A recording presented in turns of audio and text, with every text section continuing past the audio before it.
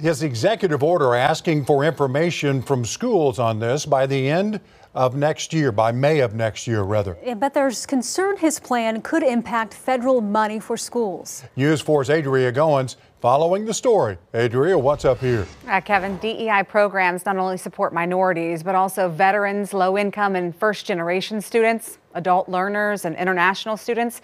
However, Governor Stitt says those tax dollars should be focused towards education. Governor Kevin Stitt signing this executive order taking aim at diversity, equity, and inclusion programs in state agencies and higher education. That's going to shift the focus in education uh, back to educating our young people. The order asks for a list of DEI positions, departments, activities, procedures, and programs to eliminate and dismiss non critical personnel, giving a deadline of May of next year. We're spending too much state dollars on DEI officers, and we need to stop that in the state of Oklahoma. Dr. Allison Garrett, Chancellor for the Oklahoma State Regents for Higher Education, talking about DEI on Flashpoint back in February. Is Flashpoint. And many of our institutions don't have anyone who has that um, title, and, and, certainly not on a full time basis. Mm-hmm.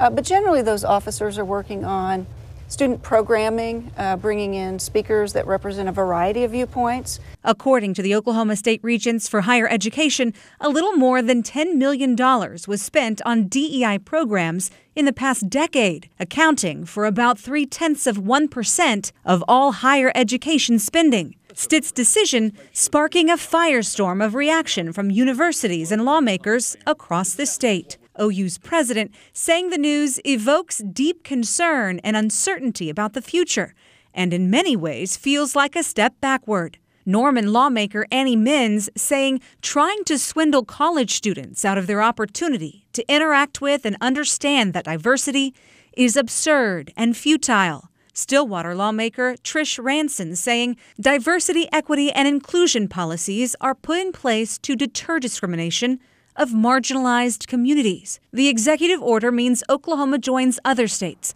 targeting DEI programs like Texas and Florida. Diversity and inclusion is a recruitment tool highlighted on the websites of private universities and businesses across the country and here at home, including Gateway First Bank, whose majority owner is the Stitt Family Trust.